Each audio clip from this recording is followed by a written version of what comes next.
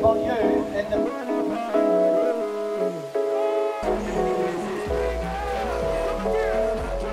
Nou, zoals je merkt en voelt, het is eh, vol energie en het is een fantastisch evenement. Eh. Rotterdam is de eerste gemeente die dit dan doet in Nederland. Denk je dat het iets is wat landelijk zeg maar, opgepakt kan worden?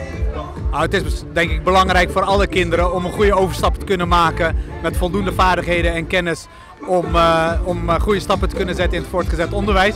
Dus ik gun het alle kinderen in Nederland, maar wat mij betreft in de wereld. Ik hoop dat dit als voorbeeld gebruikt wordt voor andere gemeentes. Want wat ik je zeg, iedereen moet tegelijk dezelfde kansen krijgen en gelijke kansen krijgen in heel Nederland. En als je als laatste nog een tip kan geven aan eh, alle nieuwe brugklasses, wat zou dat dan zijn? Vallen is niet erg, maar zoek vooral de hulp die daarbij nodig is. En het allerbelangrijkste is, het is de mooiste moment en periode in je leven. Geniet er ook van. na school ook gewoon je volle potentie volgen in, in, in je passie. Als je daar al begint, dan heb je een voorsprong op eh, heel veel mensen. Mijn ouders hebben altijd tegen mij gezegd: volg je hart. Op zijn minst doe wat je leuk vindt.